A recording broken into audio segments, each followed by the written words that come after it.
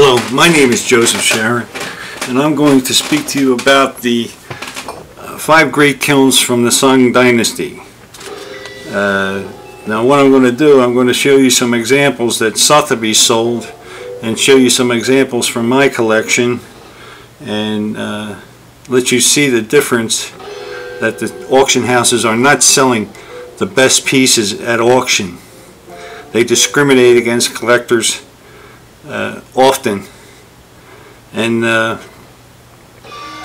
they uh, well let me let me just show you some examples and then we'll talk further.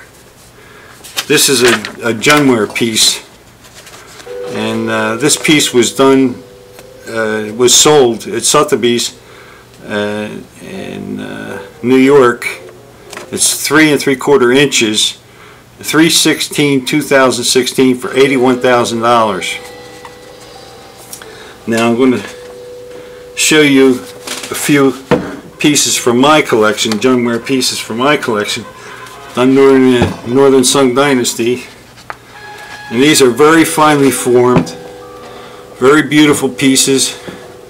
And uh, uh, how they did these pieces from the from the uh, Jun kilns generally the finest pieces they they put a uh, brown uh, slip uh, on it first then they glazed the, the blue and fired it and uh, brushed on the purple and uh, then fired it again.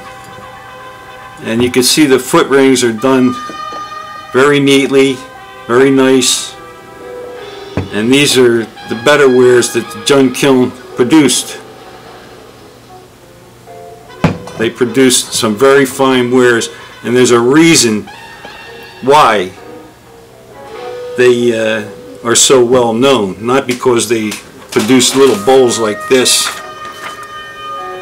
Uh, they were capable of producing some very fine wares and the best artisans generally worked on the best pieces and that's a uh, the Jun Kilns from the Northern Sung Dynasty.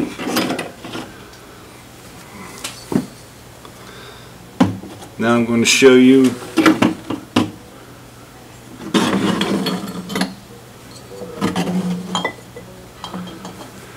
I'm going to show you a piece uh, from the Ding Kiln. This is a, a, a, a bowl that sold 9-16-2014 at Sotheby's for $81,000. It's a Persimmon glaze, uh, Dingware Persimmon glaze bowl. I'll show you two examples of what the Dingware was capable of doing. And uh, these two pieces from the uh, Song Dynasty Dingware and uh, with the persimmon glaze. Now you can see the difference in the glazes. These are beautiful glaze. This has problems all through the whole, whole piece. It's not a fine piece of, uh, and it's not a fine example uh, of what they were capable of doing. And uh, these pieces are beautiful. They have it, the glaze has like a metallic feel to it and uh, what they did they they wiped the glaze on the on the uh, base here a little thin layer of glaze and uh, you can see the white biscuit that they used if you uh, shoot a flashlight down down the uh, down the inside the piece. The insides are unglazed and the outside all dingware was glazed on the outside only. And uh, these are just magnificent pieces from the uh, Ding Kiln.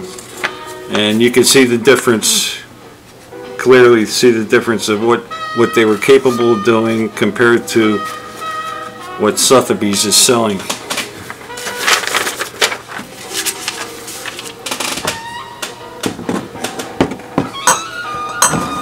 And I'm going to go to uh, the dingware, the whitewares from the Ding kiln. And they sold this piece, Sotheby sold this in Hong Kong. It was a dealer's piece. It has a, uh, a copper band around it that was cleaned. It doesn't show any corrosion on it, at least you can't see it in, on the uh, photographs. And uh, it sold for approximately $18 million on 4-8-2014. And it was a dealer's piece, a crony dealer's piece. And uh,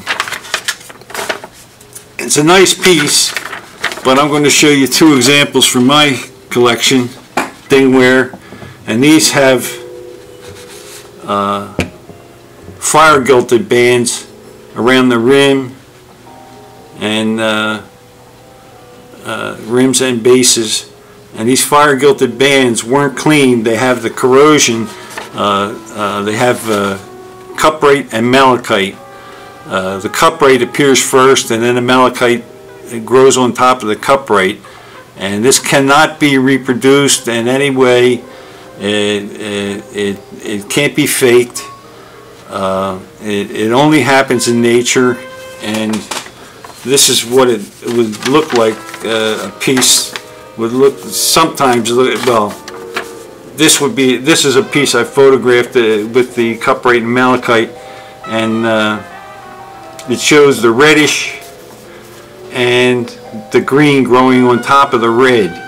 And that's how it occurs in nature. It can't happen the other way around.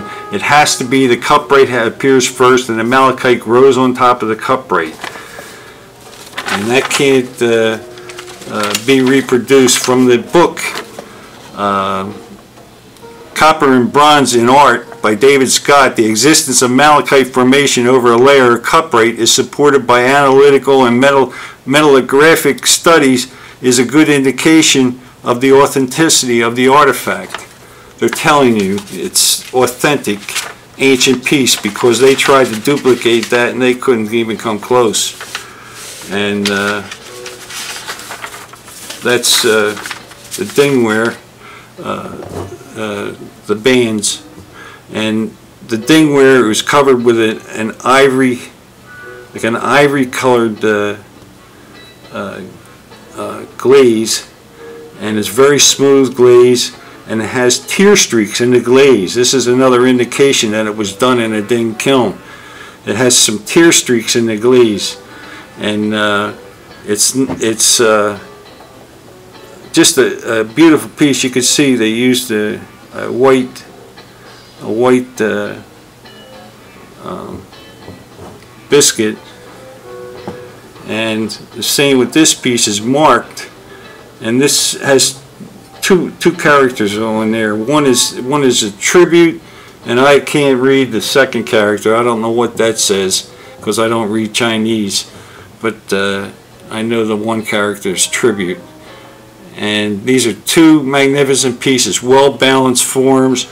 This has applied flowers uh, and, and uh, ropes, and uh, and it's just a magnificent piece with applied decorations. This has incised decorations and it's and it's very well done and uh, you can put this piece up against these two and see that I believe the vases are far superior because they generally bring more money and that's the dingware piece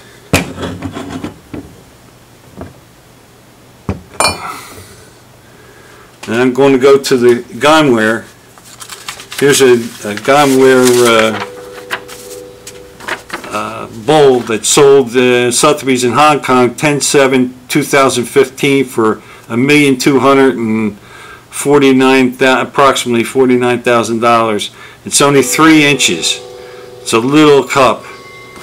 And uh, here's a piece from my collection, a mallet formed uh, vase. And this this is a beautiful, beautifully done, very well balanced form, and just glazed beautifully. And uh, uh, you can see they they're very similar. And this has a little gold thread in the glaze and so does this piece. It has a little gold thread in there in, in certain areas of, of uh, uh, the crackle. And just the, it, it has a uh, dark colored uh, clay they used on all the gun gunwares and you can see that on the base. And uh, it's it's a beautiful magnificent uh, little vase and you can compare the two. And this brought a million two hundred forty nine thousand dollars plus whatever. And uh, you can see the difference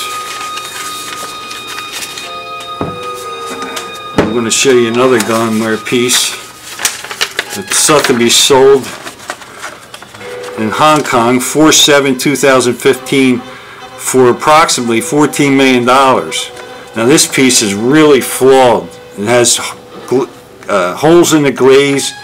It it's it's kind of like flopping on the one side over here, and uh, it, the uh, the rim is a little bit cockeyed and it's just not a, a great formed piece.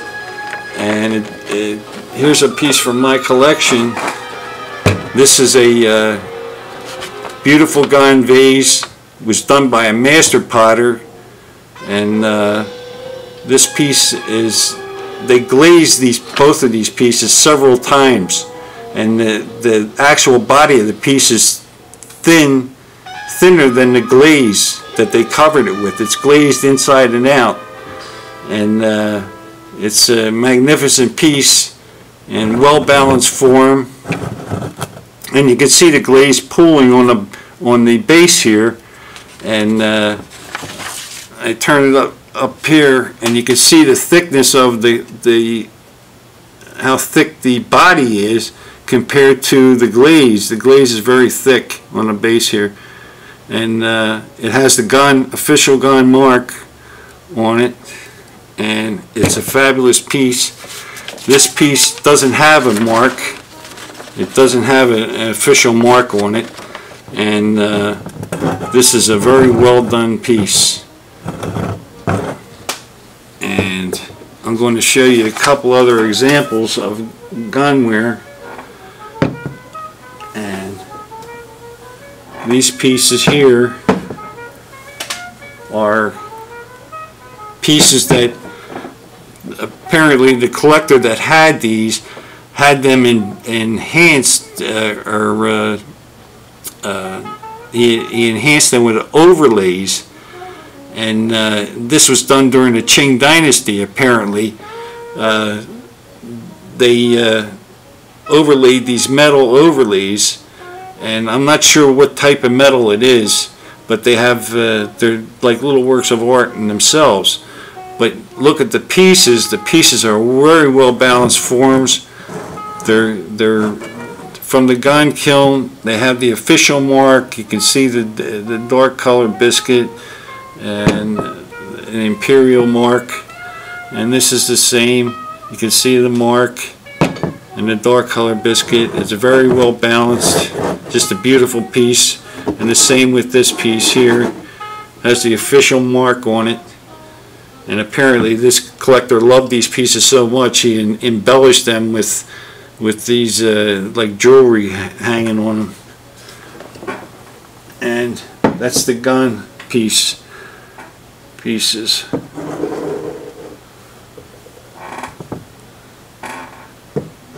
This is what Sotheby's does. They they uh, they don't sell the best pieces at their auctions.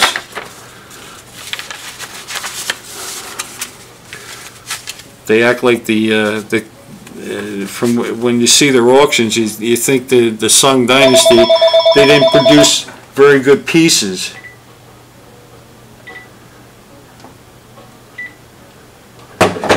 And uh, they they produce some of the finest wares in, uh, ever produced. And uh, here's a G-ware piece. Now this is a very poorly done piece, G-Ware piece. They, they produce some great wares. And, uh, this sold in, uh, New York, 9-15-2010 for, it's eight and a half inches tall for a million seven hundred sixty-two thousand uh, approximately dollars. And, uh, that's a piece set to be sold. I'll show you an example of a, a fine G-Ware piece. This is a well-balanced form compared to this. This is about 13, over 13 inches, and uh, uh, it has the iron wire and the uh, golden thread, has the purple mouth, and uh, where it thins, it shows like a little purple cast to it. And uh, on the base, it shows the iron foot. You can see the foot of the piece. They use the same clay as uh, the Gonware pieces.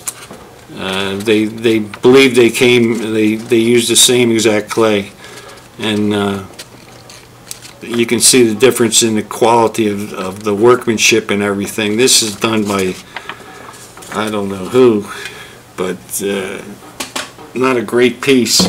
I'm going to show you another example here of G-Ware. This is a beautiful example, uh, uh, masterpiece of G-Ware, and this was done with uh, with a uh, it's called eel's blood crackle, and uh, it has instead of the uh, golden thread, it has a, a red thread throughout the piece. It's iron wire with a red thread. And uh, this is a, these are rare pieces and this piece even has loose handles. It's very well potted, very well balanced. It's a, just a great piece and uh, this is from the G kiln during the Sung Dynasty and you can see the base, the iron foot on the base and it's a fabulous piece.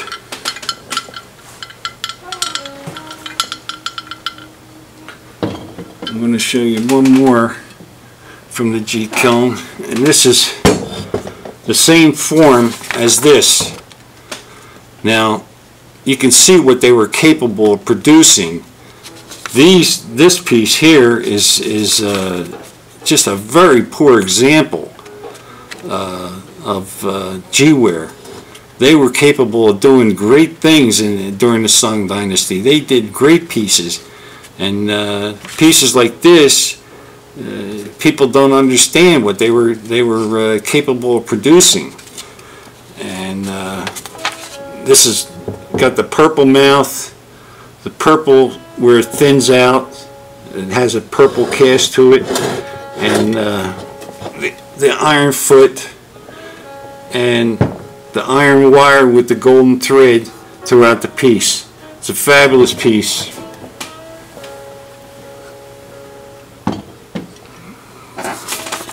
That's the G-Ware. Now I'm going to go to the last wares, the Ru ware. Now, most collectors know this piece sold in Hong Kong Sotheby sold this piece for $27 million. It's a flawed piece. It has, uh, uh, you can see it has uh, uh, holes in the glaze. It has flaws on the on the edge here, firing flaws. It's just not a good piece. They they sold these pieces to the population. They took them out and sold them to the population at a much cheaper price. And uh, I'll show you. This piece is a merchant ware piece and this would have been sold to the wealthy merchants. It doesn't have the flaws that this has. And uh, this would have been sold to the population and they were pretty expensive back then uh, and here is a tribute piece now this is a finer, the, the this is the, the, the worst pieces they, they, they produced. This is the the next step up, and this is the finest pieces they produced, the, the uh, tribute wares. And uh, this piece here uh, has the fire gilded bands and the cuprite and malachite. And on the base shows the uh, sesame seed size and shape spur marks, and the uh, it's marked here, uh, Fen uh, Wang, which means uh, tribute to the ruler, and that's the emperor is the ruler. So it was a tribute to the ruler, and uh, these are tribute wares and all the ones with the the the fire gilded bands are tribute wares and that goes with most of the kilns that that put fire gilded bands on them. They were given as tribute because they're the better pieces. And uh, uh, this piece here is a merchant ware piece and this piece was sold to the population none of these pieces have crushed agate stone in the glaze none of them uh, that's be said that there's only uh, 70 in the world. There's more than 70 in the world, believe me. And uh, and they said they had crushed agate. There's no crushed agate in this piece. I can tell you that. And I'm going to show you the imperial pieces now. Uh, the Emperor Huizong commissioned a Ru kiln to produce wares exclusively for him and his court. And he wanted he was receiving all these opulent wares and he wanted to wares that were very very refined modest wares. He wanted to go back in time to produce wares that were very modest and simplistic and uh, uh, he, he, he helped develop these wares. And most of the forms in, uh, of these wares were never seen before. And not, they don't even know the forms today. Uh, many of the forms. And these pieces, uh, they don't, they're not uh, glazed on the foot because they were fire flat in the kiln and they uh, turned brown after firing and they had a gray color clay. And they turned brown after firing. And these pieces have agate in the glaze. And this one piece here has a little clump of agate, or uh, a clump of uh, glaze that was stuck to the uh, from the floor of the kiln. And uh, inside that, there's you can see agate um, chips. And here's a picture of it blown up 200 times. And you can see the little chips of agate and here's another picture of it blown up about 500 times. And you can see the blue agate in there. And that, that came from the, uh, the glaze. And if you take a loop and look at any of these pieces and look at them very closely, you'll see glints of light that shoot off where the flakes are. That, that proves that they did put agate in these pieces. These are the pieces that the emperor. This has all been written about in books about the celadon glaze being very uh, uh, quite similar to the the Koryo pieces from the uh, Korean pieces, but these are much much simpler, much mod more modest, and that's what he wanted for his court. And if a piece had flaws, they kept that in the court. They didn't. They didn't uh, uh, do anything. They stayed in the court. He looked at each piece having its own character, just like human beings. Everyone was an individual, and he saw beauty in every piece. And this is why uh, he kept all the flawed pieces as well, because humans have a lot of flaws and uh, they're just exquisite pieces that were done for the first pieces ever done for the uh, emperor and his court in Chinese history. And uh, I hope, the reason these pieces are coming out of China, because the Chinese cannot uh, go to the auctions, you have to be part of the party, and the many, many, uh, most of the Chinese people, uh, they have their own, own collections they pass down through generation after generation. These collections got passed down, and uh, these pieces, uh, these particular pieces here, I believe they were from Emperor Huizong, uh, from his collection.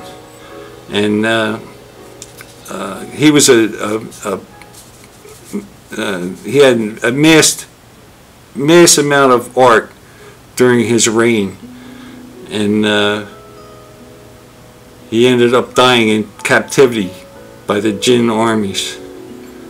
Uh, but these pieces have the have the agate stone, the celadon. They're not. Uh, they also have marks. This is a tribute, a tribute to Wa. It's in uh, Fen Wa. It means a tribute to China, not a tribute to the emperor or anything. Tribute to China. And these pieces were the pieces that the emperor commissioned the Ru kiln to produce for him and his court. And uh, uh, I think that does it. Uh, I'd like to thank you, and you can go to my website, ChineseMasterpieces.com, and thank you for watching, and I hope it, it's helpful.